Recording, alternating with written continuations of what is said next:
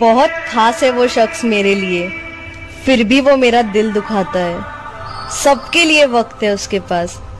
बस मुझसे ही दूरियां बनाता है